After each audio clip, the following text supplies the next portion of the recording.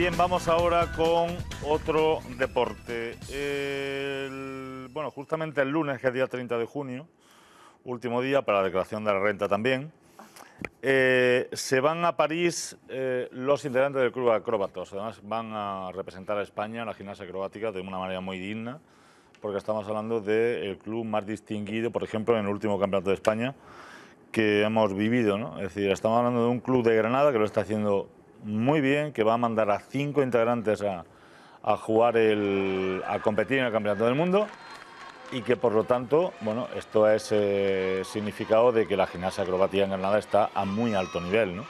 Y algo estará viendo, haciendo bien el Club Acróbatos para que, para que esto se produzca, ¿no? Para que cada vez haya más integrantes del equipo granadino en su selección española.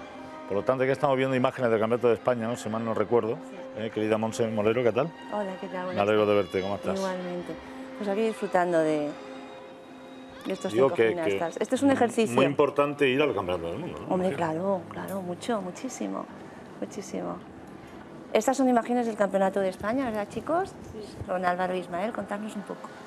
Pues, Espera, espera que los presente ahora. Ah, vale, vale. Cuéntame tú primero la importancia del Campeonato de- de- del Mundo. Pues el Campeonato del Mundo pues es lo más, es lo más de- dentro de, de una competición deportiva gimnástica. Eh, a estos chicos los, se les seleccionó eh, en diciembre en una de las concentraciones que hubo de acrobática y tras varias pruebas en varias competiciones pues se estableció definitivamente su selección para formar parte dentro de la delegación española en, en París. Eh, estamos muy contentos, la verdad. Muy nerviosos también porque claro, es una responsabilidad enorme. Bueno, enorme. del Campeonato de España os lo habéis traído todo, ¿no? Es decir, dos medallas de oro, o títulos de los- del mejor club en senior, junior, infantil, cadete, 20 medallas en total, es decir, que poco más a nivel nacional ya se os puede pedir. La verdad es que sí, la verdad es que sí, que estos chicos son muy buenos, trabajan muy duro para ello. Trabajan en equipo, eh, son muy compañeros, sus compañeros son muy responsables, son muchas deben, horas deben- deben tener buenos entrenadores, porque esto no se Muy consigue- buenos entrenadores. No se consigue solo. Son oye. una piña, es un trabajo en equipo, sí. La verdad es que sí. Bueno, le voy a presentar a los oh, chicos, que a los deportistas granadinos que van a competir en ese campeonato del mundo, que para ellos imagino que será todo un sueño. Preséntamelos tú, Monse. Pues mira, la pareja que tengo a mi derecha, pareja masculina, son Ismael Medina y Álvaro Jiménez, de 13 y 17 años. Eh, luego al lado de Ismael está Nuria, la benjamina, que hoy cumple 12 añitos. y luego a mi izquierda tengo a Carmen, a Carmen Piel y a Alba Molina, que son, pues son- forman las tres un trío femenino en categoría junior también. Ellas tienen 14, si me equivoco me lo decís, ¿eh? 14, 15 y nuestra Nuria Rodríguez pues con 12 añitos, soy recién, recién casilla. Muy bien. A él también me lo has presentado ya. Sí, Álvaro sí. sí, Muy sí. bien. Álvaro será de los buenos, ya bueno, bueno. ¿no? Porque Sí, bueno. lo he visto yo en la plaza del ayuntamiento ya haciendo historia. Sí, sí, ¿Eh? sí, sí, los viste, sí. Además con fuerza y con, con una destreza magnífica. Viste a varios mm, componentes, pareja mixta, algún trío femenino, es que somos muchos en Acrobatos. Mm. Claro que Bueno, eh, Álvaro, ¿qué supone para vosotros? eh, porque es la primera vez que vas al Mundial. Sí, mi primera vez. Para mí es un sueño que llevaba mucho tiempo practicando, entrenando, trabajando duro y cumplí un sueño, ir a un mundial. Es lo máximo que pueda llegar. La preparación para el Mundial es especial, que Estas últimas semanas son así más durillas, pero, pero sí está bien. bien. Es muy duro, lo que pasa es que están hechos de otra, de otra, de otra piel, de otra... Claro. ¿Por cuánto tiempo llevas ya practicando la gimnasia acrobática? Diez años, ¿Diez años? Sí. Si era un coco, ¿no? Cuando desde los siete que... Desde los siete años. Sí. Madre mía. Bueno, ¿y ahora qué hago? ¿Les pregunto a ellas? Sí, sí, sí, ¿Eh? sí. ¿Y tú qué me vas a decir, Alba? A ver, cuéntame. Bueno, Carmen, Carmen y Alba. Carmen, a ver, Pues cuéntanos nada, algo. que, que es todo un sueño llegar, que tú puedes pensar que a lo mejor a veces hay peor tiempo y hay que dedicarle mucho tiempo a la gimnasia y todo, pero ves que tiene recompensa. Que llega al mundial, que es lo más alto que puedes llegar y puedes disfrutarlo con más compañeros de tu club, pues a mí sí que me, me hace mucha ilusión. Tú vas con la idea, lógicamente, de, de lo máximo de intentar traerte una medalla, ¿no? O tal vez con menos posibilidades, no sé. ¿Cómo veis? Hombre, está la cosa muy complicada porque hay muchos grupos, creo que son treinta y pico tríos que compiten contra nosotras, pero. A ver, vamos con la idea de hacerlo lo mejor que podemos, de lo que hemos entrenado, hacer lo que sabemos, pero sabemos que está muy complicada la cosa. ¿Y tú, Alba? Yo lo mismo. que lo mejor que podamos hacer, lo podamos hacer y ya está. Y ¿Vuestros entrenadores qué os han dicho de cara a este momento? Porque Pues vosotros que- sois conscientes de la importancia. Oye, porque venimos aquí y decimos, no, est- estos niños se van a un mundial. O sea, el mundial son los mejores del mundo practicando este deporte. Y además un deporte de la gimnasia, queramos o no, España ha sido una desventajada desde hace muchísimo tiempo. ¿no?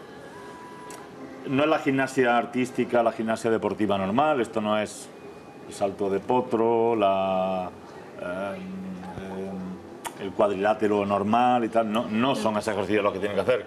A mi juicio son bastante más complicados, ¿no? son bastante más, bastante más espectaculares. ¿no? Pero hasta hace poco España en la gimnasia no era nadie. Eh, Yo, yo todos recordamos a Joaquín Blume en las imágenes de blanco y negro y murió Blume y se acabó la gimnasia y ha habido un parón, ha habido un desierto extraordinario durante muchísimos años. ¿no? Es verdad que con la aparición de Carballo, de gimnasia de, de, de Gervasio de Fer y tal, luego los últimos años ya estamos siendo alguien, ¿no? sí. Pero todavía es un deporte que ha pertenecido fundamentalmente a los países del este, al gran potencial de China, Japón también y los Estados Unidos, que luego lo son todos en todos los deportes, ¿no? Y hay tanta gente y tanta inversión. Date cuenta que en España el primera, la primera competición oficial fue hace 10 años solo de gimnasia acrobática, o sea, jovencísima. A nivel mundial vamos, o sea, vamos como ganadores solo por el hecho de participar. Fíjate lo que te digo, porque sabemos que mm, los países contra los que nos medimos llevan tantísimo año, tanto recurso en el mundo de la gimnasia que lo tenemos muy difícil, pero bueno, estamos muy orgullosos de, ¿Quiénes son los favoritos para, para Hombre, la de Rusia, ¿no? Rusia es muy favorita, Bélgica es muy favorita. Es que son países, es otra, es otra cultura deportiva, gimnástica totalmente distinta a la española y tienen, sus gimnastas tienen otro tipo de, de control y de participación a nivel gubernamental, de administraciones públicas, en fin, eh, funcionan de otra manera. Pero que bueno, que nosotros un orgullo, un orgullo, ya te digo, vamos como ganadores, pero no por coger ya la medalla, sino por el hecho de participar, el honor de participar y representar a nuestro país, para nosotros es un orgullo. ¿Van estos cinco? ¿Tú eres senior? No, tampoco, ¿no? Son juniors. Con Junior. Junior todos. ¿no? Sí. Bueno, pues qué deciros, yo desearos la- que de por sí ya ir al campeonato es eh, un éxito, ya la medalla la tenéis, ¿no? Sí, sí. Ya la tenéis colgada. La del corazón está ya puesta. Claro, y bueno, pues, Y yo quería aprovechar, que nunca te lo digo, que nos apoyas muchísimo y estamos agradecidísimos de contar siempre con TG7 y, con, y contigo para todo lo que sea difundir este deporte tan bello y tan poco conocido, por desgracia. muchas gracias. Muchas gracias a ti. Y a todos ellos, que son los Ya protagonistas cuando, de todo cuando esto. vengan con las medallas, que vengáis otra vez. ¿no? Que se Claro. Se las enseñamos a la gente, ¿no?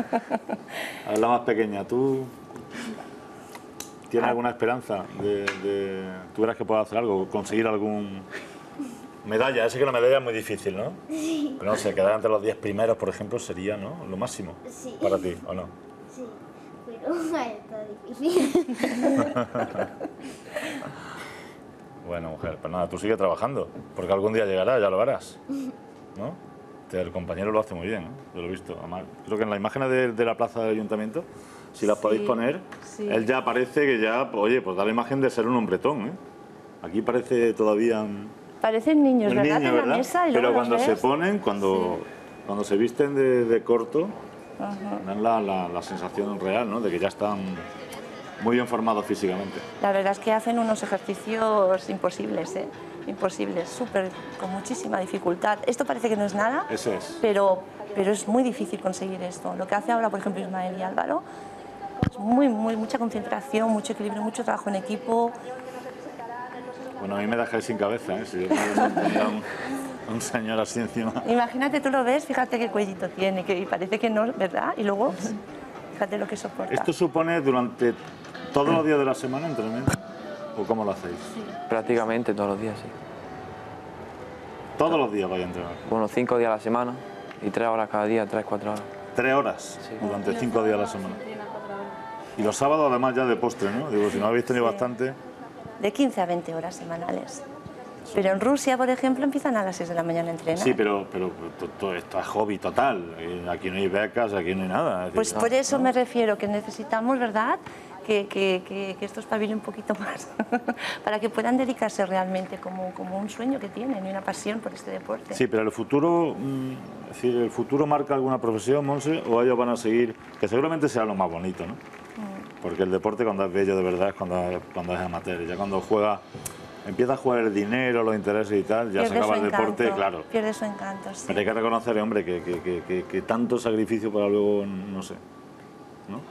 ¿Vosotros Pero cómo lo veis? Sé lo que nos gusta hacer mientras se pueda disfrutar, aunque yo sé que no va a tener ningún fin económico, pero es algo que a mí me gusta y por eso le dedicamos tanta Tú no piensas en dinero No. en este asunto. Tú piensas en medallas, ¿no? Y No, más que nada en disfrutar, en, en poder compartirlo con mi familia y eso. Me parece muy bien. A ver, tú ya porque nos vamos, di algo.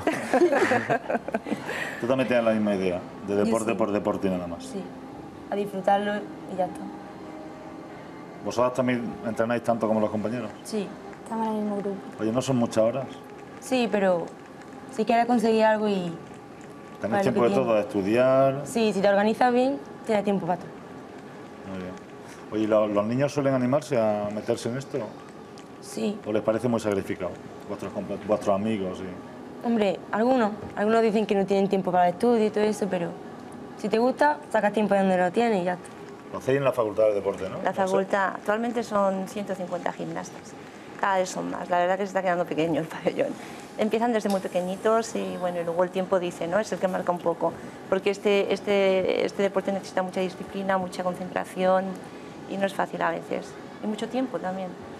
Así que bueno, que nosotros encantados con tener a... Y los padres, mucho Y los sacrificio padres, los por parte de los padres, claro. Ahí está, ahí está. Sí, porque sí que es verdad que ellos quieren que sus hijos hagan deporte, pero no de verdad, porque hay muchos padres que están obsesionados desde el primer momento. Este niño algún día ganará mucho dinero. Entonces, Este- ¿no? esto es- ellos saben que no, es sus hijos hacen deporte porque les gusta y nada más disfrutan con él. Es carísimo este deporte, carísimo, ¿eh? Esto todo sale del bolsillo de los papis. Las mallas, los viajes, las inscripciones, esto no te lo... Es que es todo costoso. Claro, porque eso lo pagan ellos. ¿no? Lo- las familias. Por eso te digo que me da envidia sana, es sana siempre, ¿no? De otros decir, países. que oye, vamos a un campeonato del mundo y dirán los padres, por favor, que sea cerca. sí, sí, sí. No me lo lleváis a Japón, porque no tengo para, para pagarle el viaje. Pero ya no en el mundo, en el, en el de España, rogamos, rogamos porque sea en Andalucía, porque nada más ir a Vigo ya es una pasta de hospedaje, de, es que es un- todo vale mucho dinero. Entonces, claro, cuando no tienes unas ayudas de administraciones públicas, unas becas, que es lo que antes había, antes había alguna que otra bequilla, pero ya lo han cortado todo, pues claro, es un sacrificio de los padres enorme, económico, de los chicos también, que ven como sus padres y adolescentes ven que sus padres están, les está costando tirar para adelante del carro, pero bueno, es una satisfacción también cuando los Bueno, ves pero a los padres yo animarla a que sigan porque es una inversión Sí. en la persona. Sí, sí, Eso la es verdad les Hombre, cuando no se puede, no se puede, es cierto, ¿no? Ujú. Yo estoy convencido que un padre hace lo imposible para que su hijo, si tiene que ir a un campeonato, vaya. Así Sobre todo si es un campeonato importante. Y sobre todo porque Ya se lo quitarán ellos de, de to- de todo lo que sea. Ya lo hacen, ya lo hacen. Vacaciones incluidas para Ya que hacen. vayan, lógicamente. Así es que apretad bien, seguir entrenando, que yo sé que lo hacéis fenomenal, porque al campeonato del mundo no va cualquiera. Y estos chicos que tenemos aquí son auténticos, auténticos héroes en su deporte, además a una edad muy joven, y que, y que os deseo mucha suerte y que tengáis muchas medallas pronto. Muchas ¿Vale? gracias. Estaremos en contacto, os iremos informando. Claro que sí, gracias por venir. Mucha Muchas suerte. gracias. Bueno, hemos finalizado por el, por el día de hoy. eh, ahora nos vamos ya de fin de semana, volveremos el lunes. Esperemos que con muchos fichajes y, y que durante estos días, ¿no? siempre huyendo de la hora de más calor, pues ustedes sigan haciendo deporte, que es bueno para, para el cuerpo y la mente. Muchísimas gracias, buen fin de semana y hasta el lunes.